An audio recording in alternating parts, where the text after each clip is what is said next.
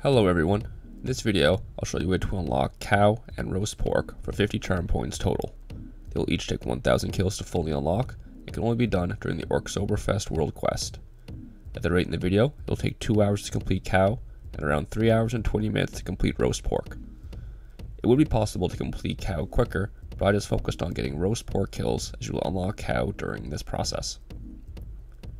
This spawn can only be accessed when the Orcsoberfest World Quest is active. Orcsoberfest happens twice a year.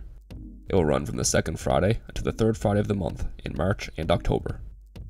You can find the island by entering a portal to the south of Thais. When you reach the Orcsoberfest island, you will find the cow and roast pork on the surface in the northern part of the island. They are quite easy to complete and I would recommend focusing on the roast pork as you get more than enough cow kills along the way.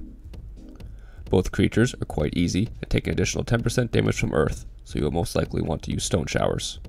You should be able to get by with any elemental damage though, except for fire, as the roast pork are immune.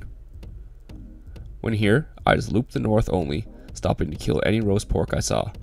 There's a spawn by the boat when you first teleport to the island though, so you may want to extend your loop down there, through the games area, and come back to the start of the loop I show on the northeastern part of the island. If the spawn is quick enough on your server, you can most likely skip adding this walking time to your route. Hope this video helped you complete these entries.